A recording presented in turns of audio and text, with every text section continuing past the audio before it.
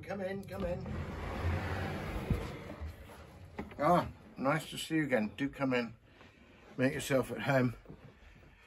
I'm back again from my various travels and um, seeking a few home comforts. Have a have a seat. Now, I've got a lovely pipe out on this occasion, which um, uh, it's quite a rare one. It's it's Peterson. You can see with a lovely silver binding. If you if you look at it closely, I don't know if you can see. There's very beautiful sort of Celtic style fine engraving on the silver band, and then this, um, as it were, faux amber mice mouthpiece.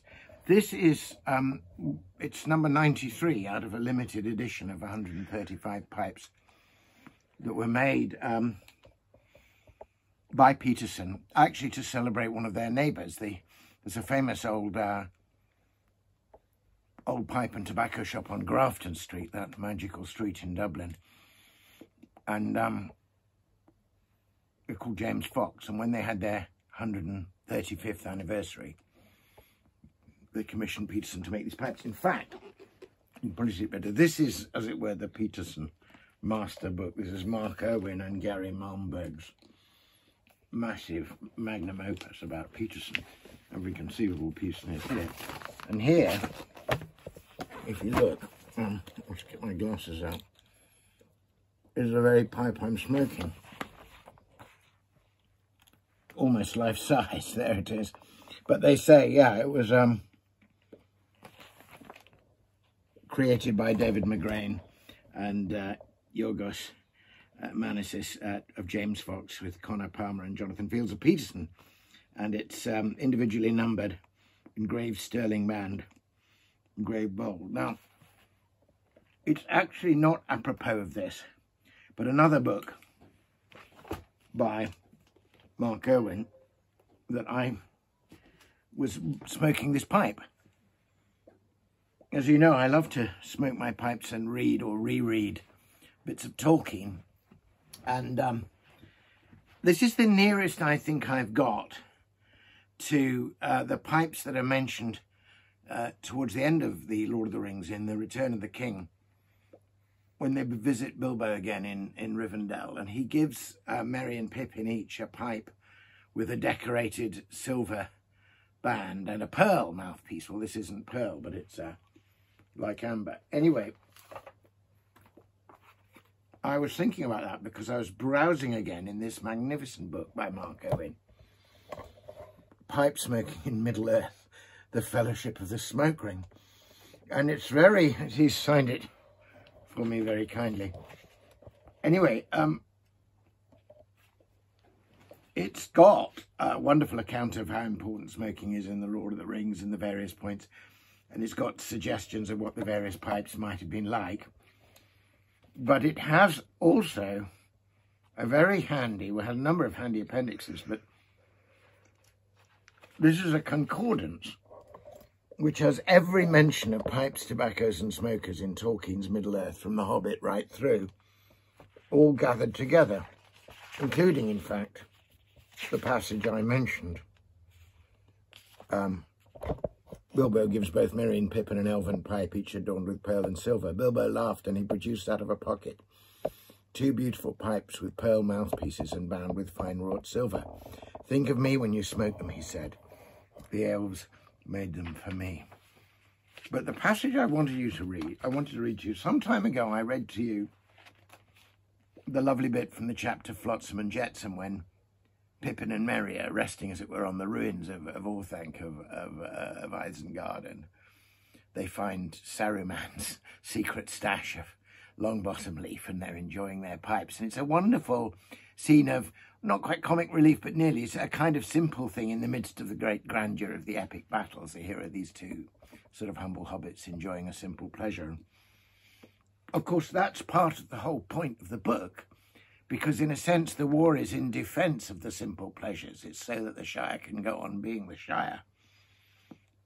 Anyway, there's a lovely scene later on when, again, after the battle, but this time the really major battles in the third book, the hobbits are recovering and uh, they see Strider, who's now, of course, Aragorn, the king.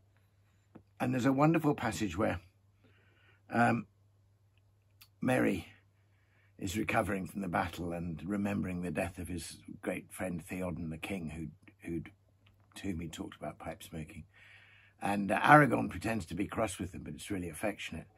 And it's um, it's it's all about whether you, after a tragedy, you carry on smoking or you think, oh, it's you know, this is too light a thing to do. And I think it gets right to the heart of some of the things that are going on in the whole legendarium. So I'll read you this passage. Merry ponders giving up pipe smoking while recovering in Gondor. And um, we learn a bit more about pipeweed in this as well. So Merry's just recovering and is well enough to eat food. Then I would like supper first, and after that a pipe.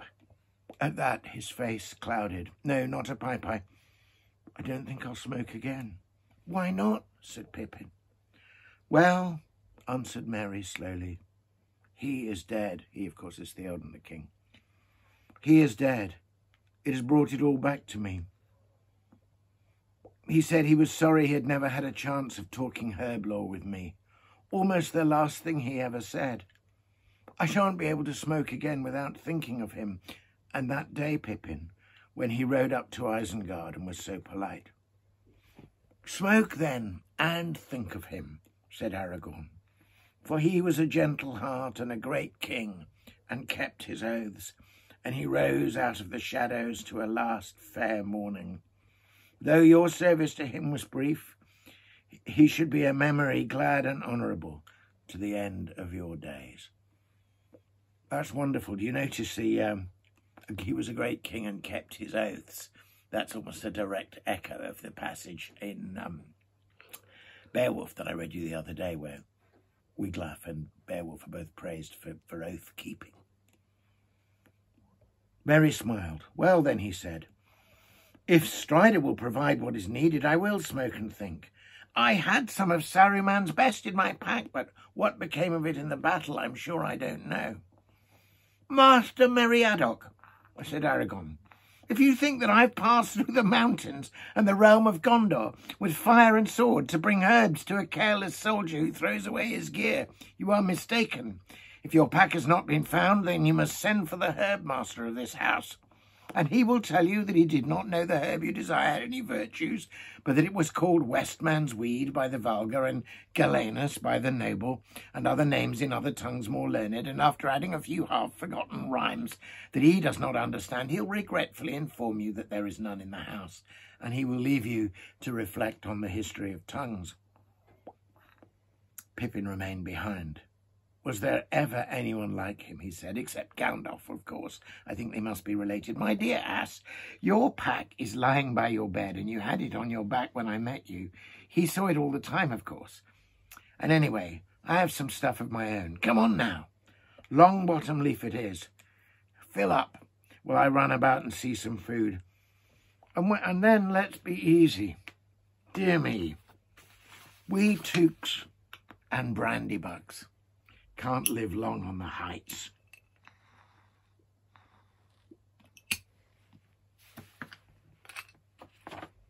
No, said Merry, I can't. Not yet, at any rate. But at least, Pippin, we can now see them and honour them. But I don't know why I'm talking like this. Where is that leaf? And get my pipe out of my pack, if it isn't broken. I'm sure this constant concern, which goes right back to The Hobbit when Bilbo actually finds the ring because he's looking around for his pipe and hoping it isn't broken. Get my pipe from my pack and let's hope it isn't broken. I'm sure that goes directly back to the Western Front and the Great War and keeping your little pipe and your bits of baccy about you in the midst of this unspeakable carnage. Somehow, these home comforts root you and ground you again. So I'm grateful to Mark Irwin for sort of putting all these passages together. There's a very fine essay generally about why he thinks that Tolkien chose to wove so much about pipe lore into the stories. It's a, it's a must, I think, for anyone who enjoys both Tolkien and and pipe smoking, and I found that those things go together. Talking about home comforts, I've got a very nice pint. I read to you about dragons the other day. This is the this mug is from the Norwich and Norfolk campaign for real ale. CAMRA. It's from the Norfolk Festival. I think they always have a green dragon enjoying what looks like a pint of porter there, and this is indeed a pint of local local porter ale, and very good it is too.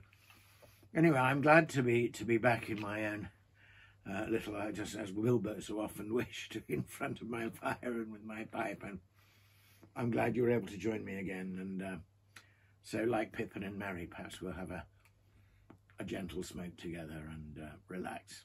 Thanks for coming round.